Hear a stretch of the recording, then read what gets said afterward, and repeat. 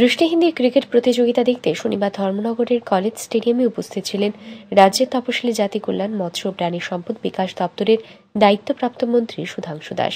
Tripura blind association দ্বারা আয়োজিত Nagesh trophy T twenty blind cricket টুর্নামেন্টের উদ্বোধনী অনুষ্ঠানে এদিন অংশ নেন তিনি।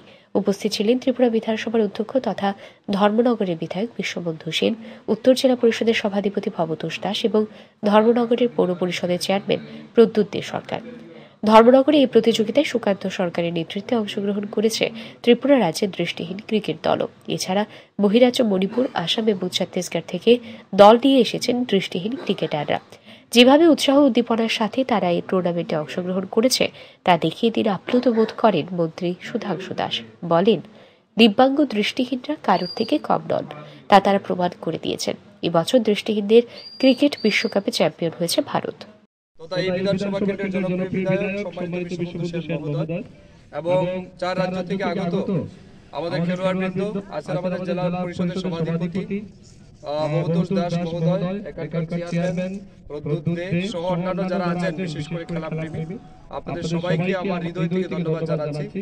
শুধু এইটুকু বলব যে অনেকে ব্লাইন্ড বলে কিংবা ফিজিক্যাল ডিসেবল বলে যাদেরকে হয়তো আমরা অনেকটা নেগলেক্ট করি আজকের এখানে যারা উপস্থিত হয়েছেন তারা কিন্তু প্রমাণ করে দিয়েছে যে তারা কোনো অংশে আমাদের কাছ থেকে কম নয় তাদের জন্য একটা জুড়ে করতালি বাজান এবং তাদের ইন্সপিরেশন এবং এনথুসিয়াজম আমরা যেটা দেখছি এটা আমাদের কাছে অনেক বেশি মানে ইন্সপায়ারিং আমি মনে করি।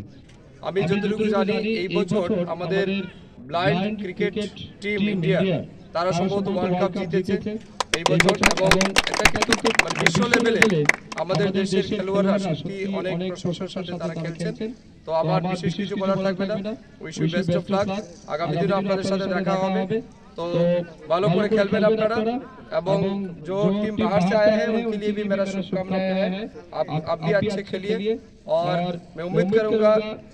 हमारे त्रिपुरा जीते एंड में দৃষ্টিহীনদের এই ক্রিকেট টুর্নামেন্টে প্রত্যেক ম্যাচের সেরা খেলোয়াড়কে তিন হাজার টাকা করে প্রাইজ মানি দেওয়া হবে বলে ইতিমধ্যেই জানিয়ে দিয়েছেন উদ্যোক্তারা সব মিলিয়ে রীতিমতো জমে উঠেছে কুড়ি ওভারের এই প্রতিযোগিতা ব্যুরো রিপোর্ট আর ই নিউজ